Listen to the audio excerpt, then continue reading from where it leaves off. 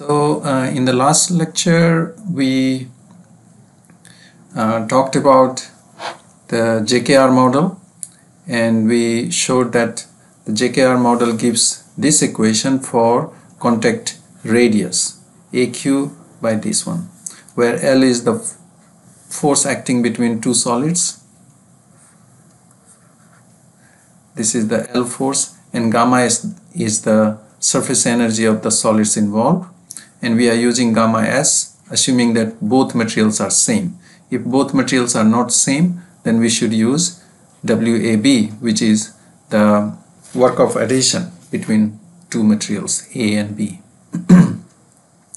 So this equation uh, gave us first of all this equation proves that if there is no surface energy effect then we obtain the Hertz equation. So Hertz equation is the, uh, is the contact radius between two solid surfaces um, when there is no uh, surface energy effect. So this is one thing we have understood. Other thing we have understood from the JKR model is that the pull-off force can be given by this equation and this is depends on the geometry so but if we have got a spherical solid and a flat surface and they are same materials and gamma s is the uh, the surface energy of the two solids then we can give the pull-off force. That means when we are pulling this apart what will be the force required at which the this adhesive interaction will break? That can be obtained from here. So this equation which was also given by um, Bradley in 1932.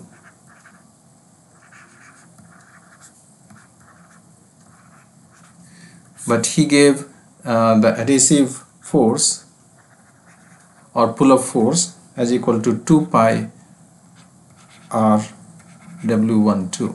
So he used 2 whereas in this case we have used this one. So there is a small slight difference here okay so for example if I convert this gamma s as WAB by 2 then it will become 3 by 2 and it will be 1.5 so for JKR model it, this factor is 1.5 for Bradley Bradley's equation this factor is 2 if we consider W12 so this is a small uh, difference between the two but both lead to the same equation. Another thing we have understood is we should be using WAB which means the work of adhesion between two solids as equal to gamma 1 gamma 2 surface energy of one solid surface energy of the second solid minus the surface energy of the interface between the solid 1 and solid 2 and this equation is also known as Dupre equation.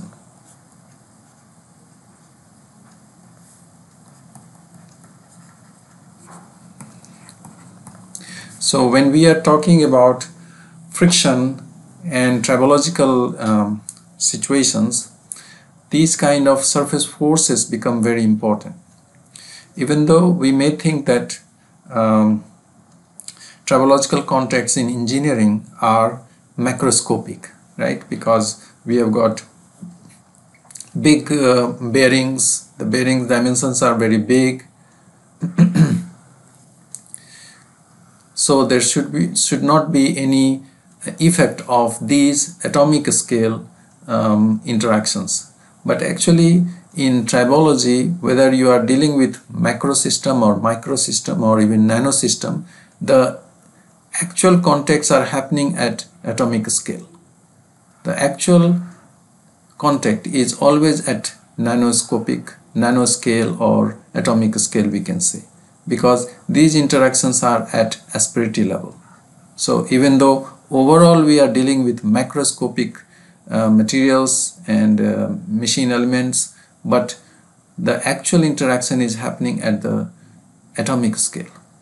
And this is the reason that no matter what we do, the materials will always interact at atomic scale and therefore these physics and these uh, principles are very very important for our understanding. I also talked about the apparatus called surface force apparatus. So this is apparatus is based on the principle of this equation or Bradley's equation whichever you use and this gives a possibility to measure um, surface forces, the pull-up force and also to find out the surface energy of solids, of different kinds of solids. We will talk about adhesion and how adhesion affects friction. So we all know friction is, um, is a result of uh, many events happening and one of them is the adhesive interaction between the two surfaces. So if this is stationary and I make this move solid 2 under some load okay so the adhesive forces here will play a very very strong role in the friction force. So there is no way we can escape that unless we do something with the surfaces.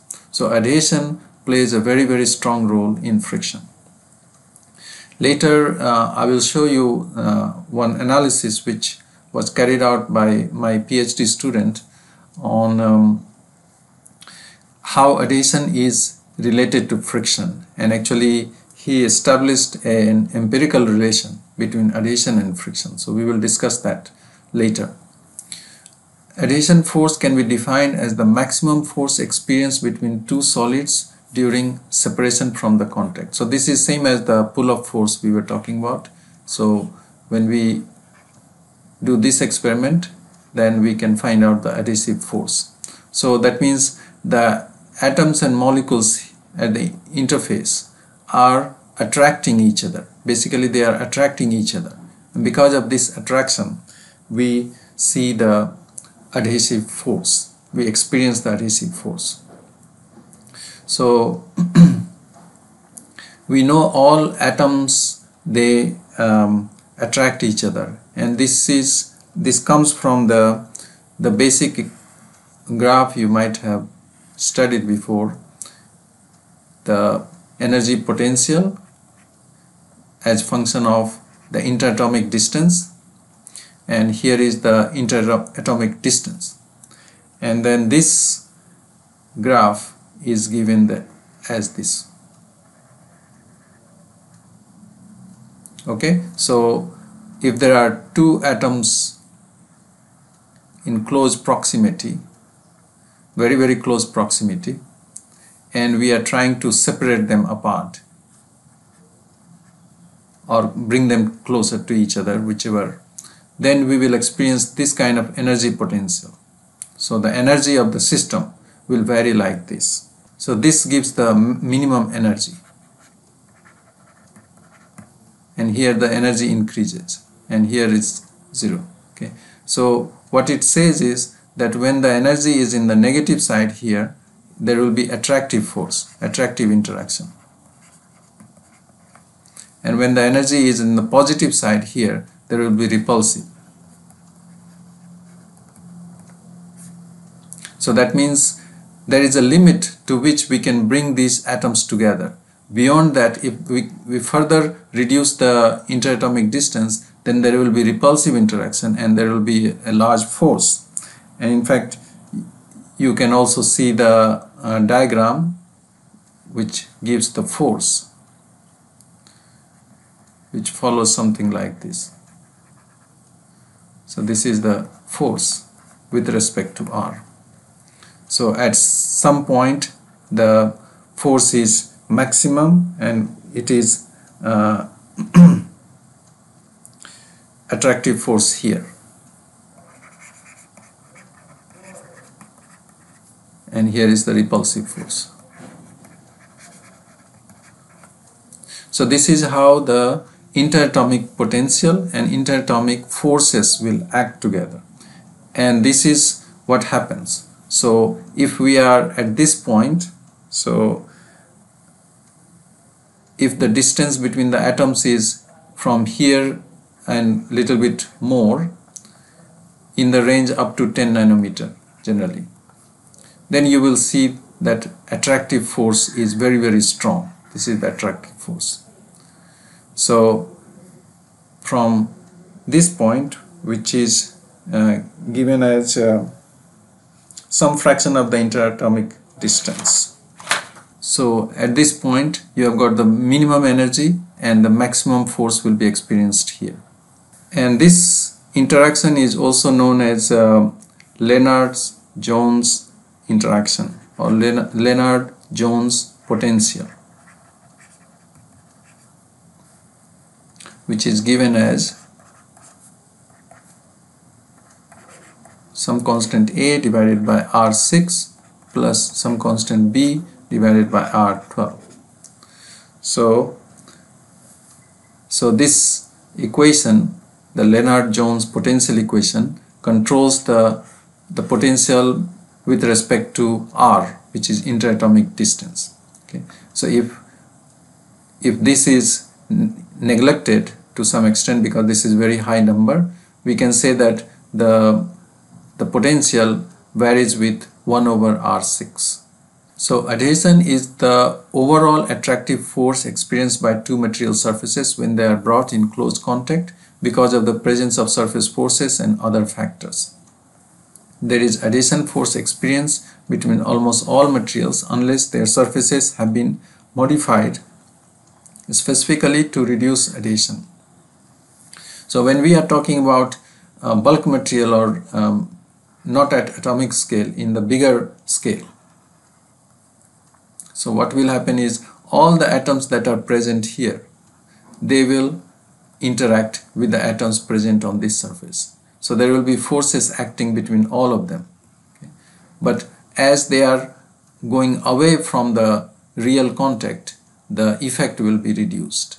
Because as I said, up to 10 nanometer you have got strong force and beyond 10 nanometer um, the forces are extremely small so you can very well neglect them. So all the atoms which are very close here and here within less than 10 nanometer they will have combined effect so there will be an average effect of all the atoms and that is we measure as the pull-off force so all materials will have uh, adhesion unless we modify the surfaces so for example if we modify by um, some method um, by changing the surface then we can reduce the adhesive force but we may not be able to eliminate all the adhesive interaction. So now what are those forces what uh, at atomic scale? So some of those surface related forces are van der Waals forces, electrostatic forces, chemical bonding, hydrogen bonding and capillary forces. So these are the forces that are acting between the two surfaces which we measure as adhesion, adhesive interaction. Okay. So van der Waals forces uh, are the forces which act between two atoms whether it is gas, liquid or solid. Electrostatic force will act because of some uh, charges. If there are charges uh, available there uh, opposite uh, charges will attract each other and um, like charges will repel each other. So that kind of electrostatic force. And chemical bonding may happen okay? Although we don't deal with chemical bonding in this case but because of the chemical bonding possibility also it is possible that adhesive force will be high hydrogen bonding is very much possible especially with polar molecules like water presence of water. So hydrogen bonding is another force and capillary force also acts. So we will just explain little bit of each of these forces how they work. So for example the van der Waals forces we were talking about it is because of the atoms which are here and they are interacting with each other because each atom has got its own uh, electromagnetic field. So when they interact with each other in within their in, intermagnetic field they will induce some um, poles. So this creates a kind of dipole uh, dipoles. And because of these dipoles they will attract each other. So this is part of the van der Waals forces. The electrostatic forces are because of the charges which are here for example. And some other kinds of bonding and chemical bonding can happen as well as some interdiffusion can happen metallic bonds. For example if there are two metals then the metal atoms can go from each other. So some can go from here to here. So that will cause interdiffusion. So this is also another we can also call it sintering of the two surfaces. So these are the atomic scale forces. The capillary forces are shown here which is because of basically condensation of liquid um, or condensation of a vapor into liquid. And the possibility is that water will condense at these points. And because of this condensation there will be force acting between the two. So here this has been shown in a um, bigger scale so here you've got one particle and the surface and the liquid is condensed here. Liquid has condensed. Okay. so now depending upon the interfacial surface energy okay, depending upon the surface energy this liquid can form a concave type of sur concave surface or convex surface so in the case of concave surface movement, if it is concave here then there will be a tension tensile force acting. And this is also known as uh, Laplace pressure. So Laplace pressure will bring them together. So if it is concave then this solid uh, particle will get attracted to this one because of the capillary forces. So this force acts between uh, two materials so any example can you give any example from our life about experiencing these capillary forces? Well, in a small tube, when we pour in water, then water, uh, some of the liquid, then liquid get dry. Okay. Yes, that is a capillary force um, acting and capillary. Is, yeah, because of this surface tension, the uh, water will rise. But in practical example, one is very good example is um, sand particles. So, for example, if sand particles are dry they they don't attract each other right? They uh, like they are very uh, separate apart. But when you add little bit of water then what happens? Sand particles start coming together right? So ideally we should say that when we are putting water it should make the sand flow even more. But when we put little bit of water it makes the sand stronger. It becomes very strong. And if we put more water then it starts flowing. So in the beginning when we add little bit of water it becomes very strong. Because of this reason you know when you are walking on a sea beach and for example water is flowing like this in the sea so if you want to run on the sea beach and this side is the sand right? Dry sand. And when you want to run on the sea beach uh, which place is the best for running or jogging? Too far away here or too close to the water? I think so in between. In between somewhere here right because this is the place where you have the exact amount of water that is making the sand very strong together. Because because of the presence of water they are getting attracted to each other. Far away there is no moisture in it. So it is very dry so very weak. And too close to water there are too much of water. And that also makes the sand particles very uh, flowing uh, against each other so in the middle so this is the action of capillary forces that are acting between the sand particles and the sand particles uh, have uh, this uh, concave menisci and therefore they attract each other. So I've got uh, um, uh, acrylic sheet here and some particles. So for the particles I have taken uh, rice grains. Can you see the rice grains here? Yes sir. Okay, sorry it just fell down. So these are the rice grains here. okay now my finger is very very dry so there is no moisture in it and if I try to pick up I can't pick up any particle okay so this rice grain represents the sand grain or any kind of uh, solid okay so but if I just wet my finger just slightly and you see the rice grain has come to my finger it is sticking to my finger right? So so here also you can see that. So this is the of capillary forces. It acts between two solids just a moment Sir, uh, in also the case when we applying, uh, sir, in festival, when we put a tika on ha- uh, head, then Yes. sir, we put some butter on this. That Yes, you're right. So when we put that tika or so uh, yes, so dry powder will not stick to our forehead or our skin. It may stick little bit because we always have some moisture because of the sweat. You know, so some moisture is always there on our uh, skin. It is not 100% dry. But to make it little stronger, we have to put some water or some some liquid. Generally, water. I guess water is used. yes. Yeah. So that is the uh, capillary force acting between two solids.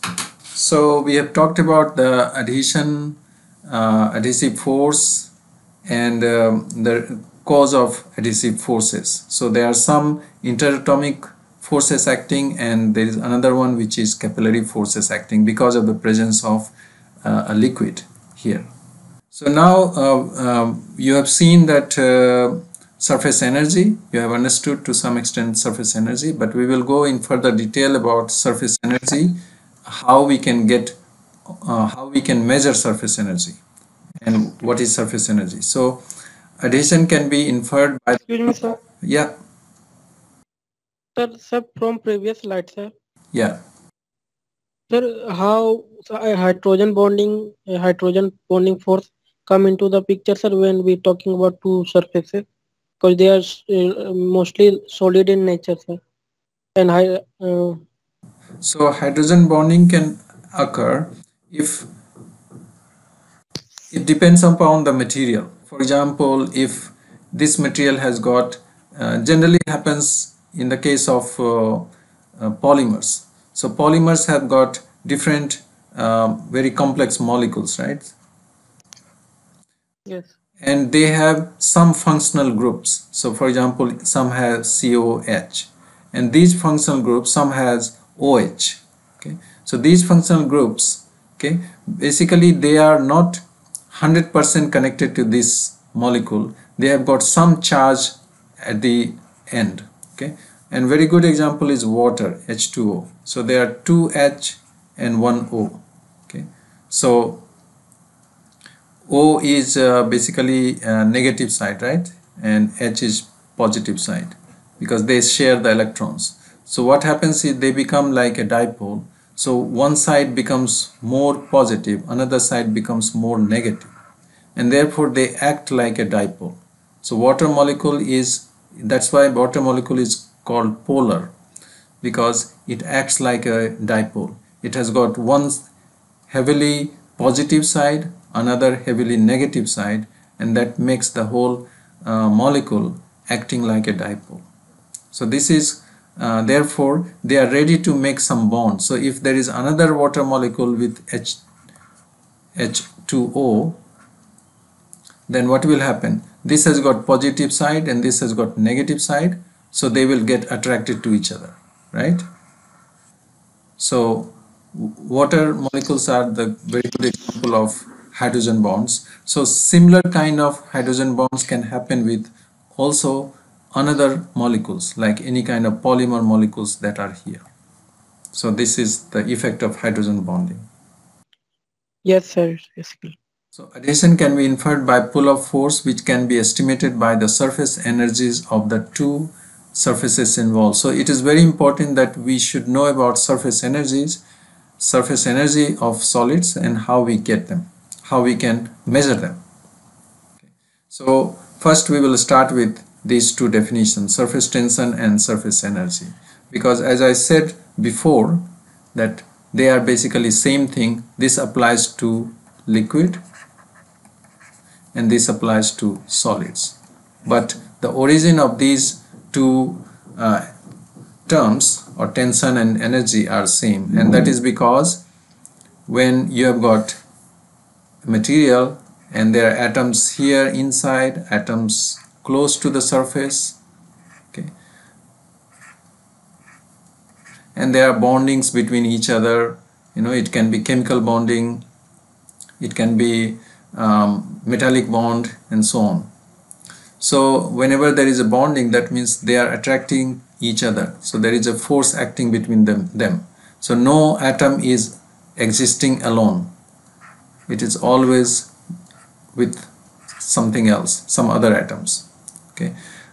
But the atoms which are on the surface they have got only attraction to this these atoms but nothing on this side. This side there is a free. Similarly happening for this one. So the situation of the atoms in the bulk is different from the situation of the atoms on the surface. The surface atoms are not fully in equilibrium with other atoms. They have got some uh, unsatisfied bond acting here.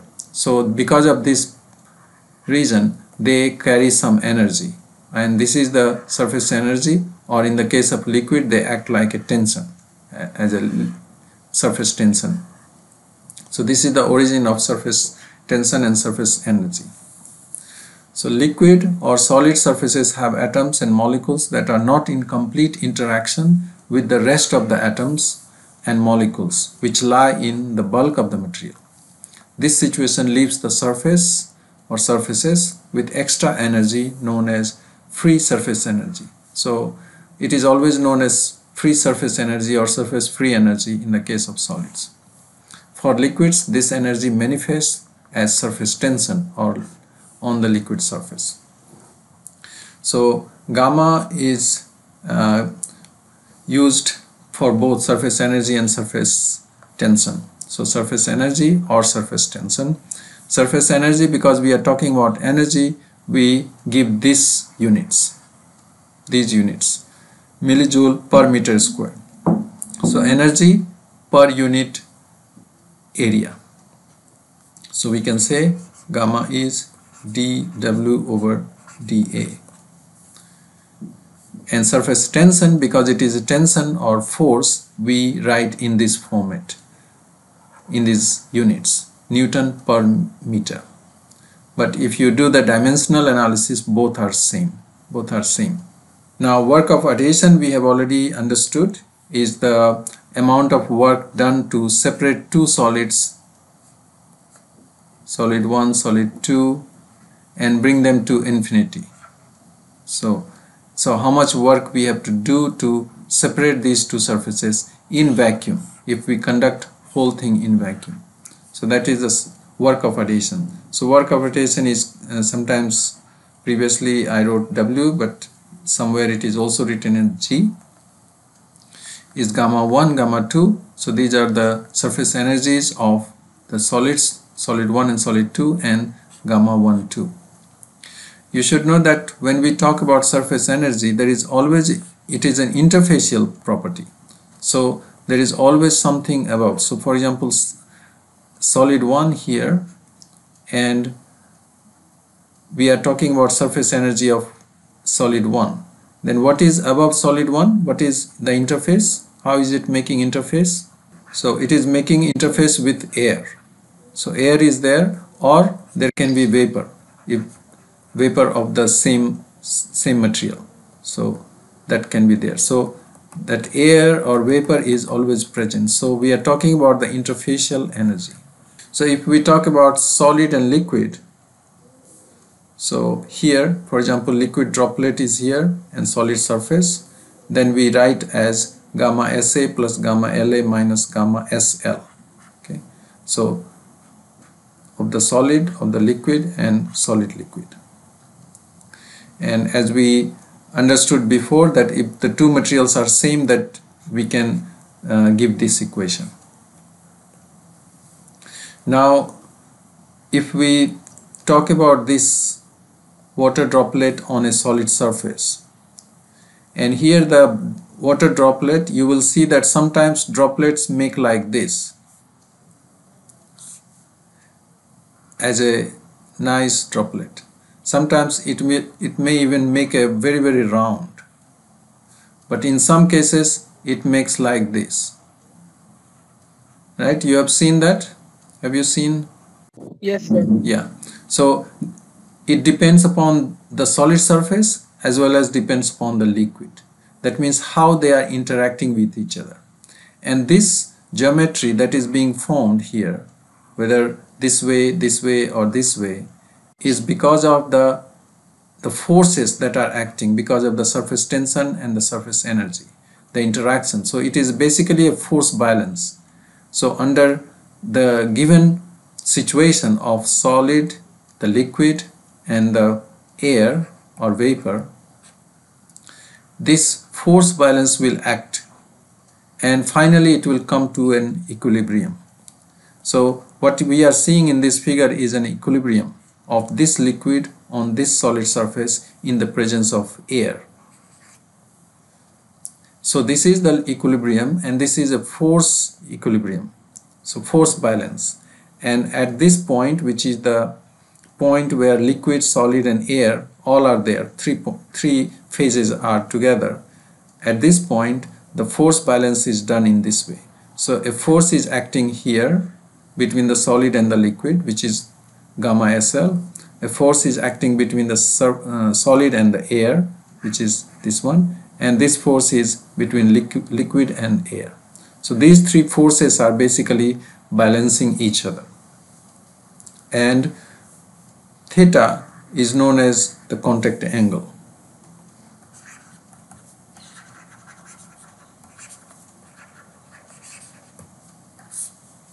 if it is a water water droplet then we call it water contact angle.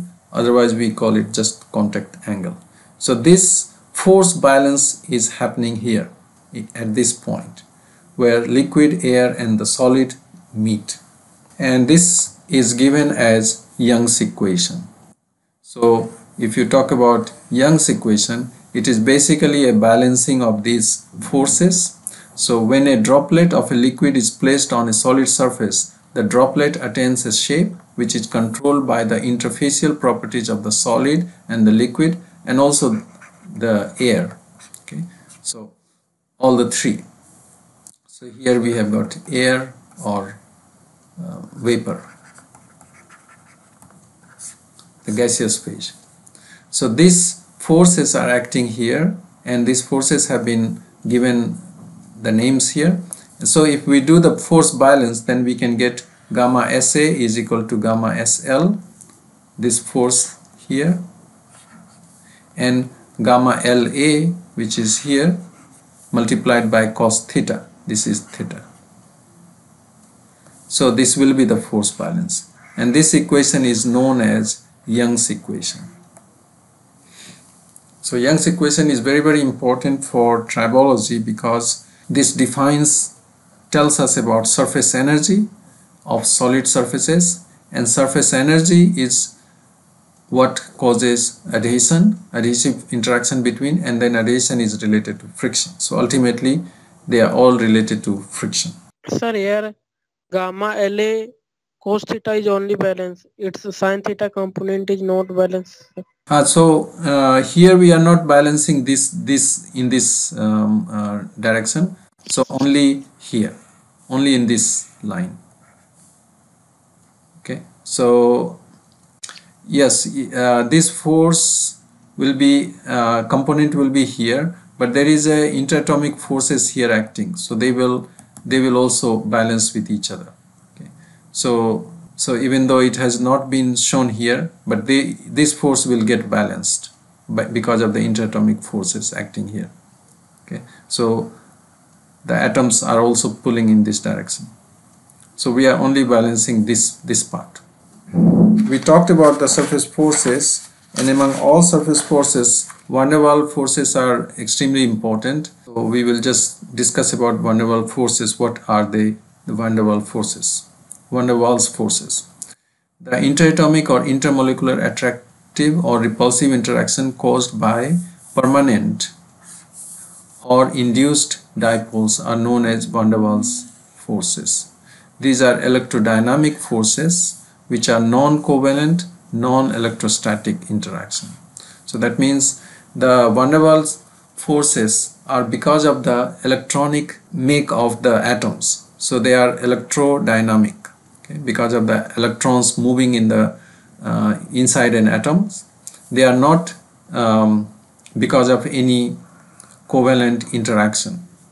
That means not because of any uh, chemical reaction and they are also not because of non-electrostatic. They are also non-electrostatic interaction. That means they are not because of the presence of a charge.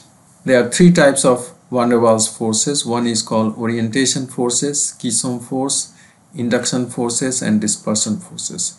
Among these three, the dispersion forces are the strongest and actually they are the forces which are normally considered. These two forces are not considered because they are not as strong. So A orientation force is because of the dipole-dipole interaction. So if there are two dipoles like this, it has got uh, some charges positive and negative, positive and negative. So what will happen is they will attract to get attracted to each other and they will settle in some situation. So for example, they will have positive and negative together and they will settle. So this is the one type of interaction. Another can happen because of dipole and non-dipole. So there is a dipole here and there is a, another atom which is non-dipole. Then what will happen is this will induce dipole here. And because of this induced dipole they will get attracted to each other. So positive will induce negative negative will induce positive and therefore it will make this also a dipole and they will get attracted to each other. The third one C which is uh, non-dipole. So this happens between non-dipole but still the forces are very strong.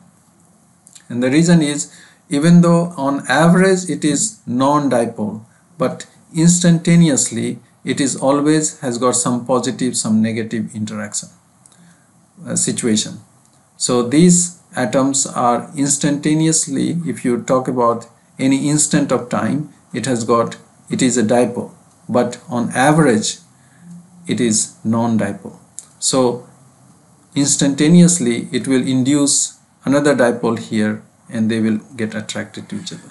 So this is called dispersion forces or London dispersion force and they are the main cause of van der Waals forces. Here D illustrates how the electric field E of a polar molecule induces a dipole in a non-polar molecule. So this we just talked about. So it has got the electrical field, electromagnetic field and this will induce a dipole in another atom which is non-dipole. Okay. And here we are talking about dispersion forces which is because of between non-dipole and non-dipole because of the instantaneous charge or instantaneous dipole that exist in the atoms. On average, it is non-dipole. So if we talk about this one, orientation force, it's basically because of the electrostatic attraction. So Coulomb's force acting between the two. Another thing about adhesion is that, as I said before, if there are two surfaces and many many atoms are interacting with each other, So we assume that because of this interaction between these two atoms of these two materials, this interaction is not affecting any other interaction. So they are all individually attracting each other, interacting with each other. So there is a, sum of the, all the interaction.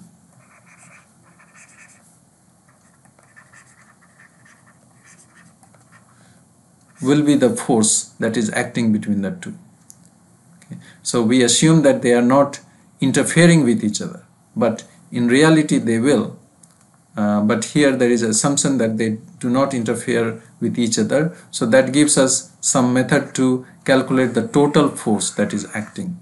For most of the materials except for very polar such as water. So polar has got hydrogen bond. So we we do not consider here. The London dispersion force is the dominant one and contributes 70 to 100 percent of the total van der Waals forces so if there is only van der Waals forces acting, then the London dispersion force or we just call it dispersion force is the most dominant.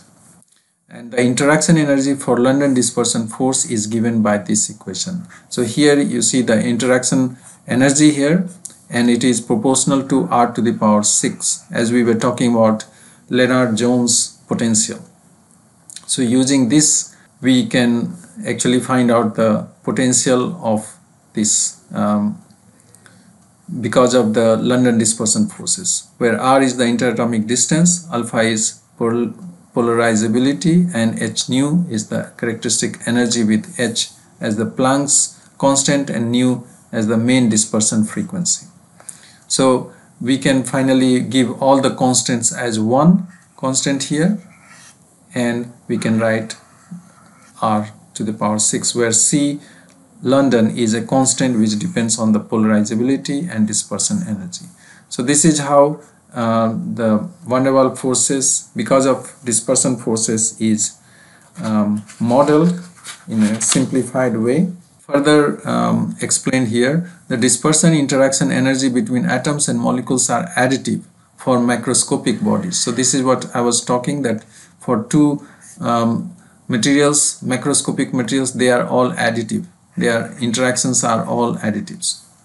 This is the total interaction is the sum of the all pairwise interaction. Pairwise means one pair another pair another pair here. They are all interacting with each other and we assume that they are not interfering into each other. Okay? But in fact they will but this is just the assumption so with this assumption this method uses the approach proposed by Lifshitz and is described in terms of Hamaker constant. The interaction energy per unit area for Lifshitz, van der Waals or LW forces between two flat surfaces is given for vacuum or air medium as this one. Okay. So this is the uh,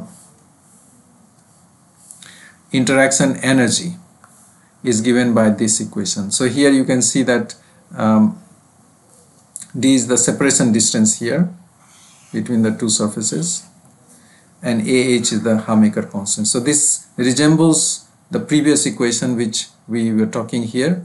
Okay, so it is based on that um, equation and finally this equation is given. So force will be the derivative of this with respect to the distance which is given as this one. So this is also another important uh, equation both the energy as well as the force but force is um, easier to handle because force is something that we can measure easily. So we can measure the uh, force between two surfaces and if we know the separation distance we can find out this Hamaker constant. So all the uh, different constants have been put together as Hamaker constant this one. So this is talked about quite a lot in not only in tribology but also in uh, other fields like adhesion rheology and so on. So this equation also you should remember and you should remember what is Hamaker constant here and how this equation came about. This is because of the the London dispersion interaction from the van der Waals forces and finally we get this equation. So basically between two surfaces um, the van der Waals forces can be uh, very high if they are very close to each other. Okay? And obviously in tribology when you have got the sliding going on uh, these two surfaces have to come close together. Okay? So if it is uh, less than 10 nanometer then the van der Waals forces are very very strong and that will lead to lot of adhesive forces acting between the two. So one example in the nature you you might have seen is is this one. Um, have you seen uh, of course you have seen gecko right gecko you, you know what is gecko No, sir. no because you um, we call it chipkili right chipkili और क्या बोलते हैं Yes, sir. right? Okay. So in our houses we see this um, uh, creature or animal which is called gecko in english. So geckos can walk on um, vertical surface right? Vertical surface. Even on the roof it can walk it can walk on you know most of the surfaces. So there people have tried to study why geckos can walk on vertical surfaces or even um, walk upside down. And so their one of their method of getting the force is through the van der Waals forces. And if you look at the gecko's feet gecko's feet has got these kind of very very small fibrils. If you, eh, you keep on uh, increasing the um, this one was used in SEM and we have increased the um, resolution magnification and finally you will see that something like this. So this is known as seta okay. One single is seta and then plural is setae so this seta so that means the feet has got this kind of hairs and which has got seta and this a free surface. And this surface actually makes the contact with the solid surface on which it is walking. So there is a Waals forces acting between seta and the solid surface and this is how it can get the adhesive interaction and it works through the adhesive interaction. Uh, other bigger creatures, bigger animals will use its nail to walk on rough surfaces. But this creature can even walk on smooth surfaces like a glass. So you must have seen on window uh, pans or glass it can easily walk through, right? Um, because it, Yes. it, it uses the van der Waals forces rather than any other kind of mechanical interaction between the nail and the roughness of the surface. So it can walk on smooth surface because of this seta.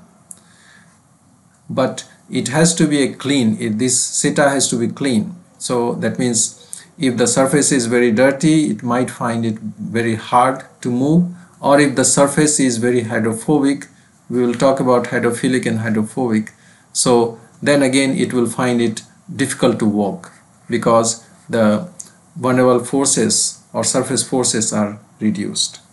So this is a, a very good example how nature uses these uh, interatomic forces, van der Waals forces to actually uh, conduct its its work. So I will stop here. Uh, you have any question? No, sir. Okay. Okay, so I am going in, uh, deeper into this uh, area because this uh, gives us the basic foundation of the tribological interaction, the surface energy, which is very, very important. So, talking more deeply into the physics of the problem. Okay, so if there is no further question, we will stop here.